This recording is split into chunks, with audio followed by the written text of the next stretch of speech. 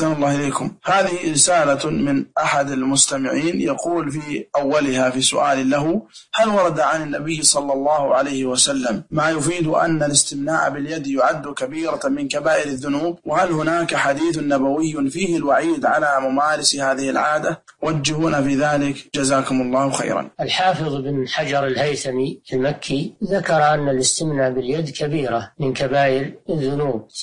في كتابه الذي يسمى بالزواجر عن اقتراف الكبائر. ولكن المعروف عند أهل العلم أو عند أكثر أهل العلم أن الاستمناء باليد معصية وأنه صغيرة من صغائر الذنوب وهو حرام على كل حال. وذلك لقوله تعالى والذين هم لفروجهم حافظون إلا على أزواجهم أو ما ملكت أيمانهم فإنهم غير ملومين فلم يبح الاستمتاع إلا بالزوجة أو بملك اليمين والاستمتاع بغيرهما عدوان على ما حرم الله قال جل وعلا فمن ابتغى وراء ذلك فأولئك هم العادون. فهو حرام على كل حال لكن الصحيح أنه ليس من الكبائر. نعم.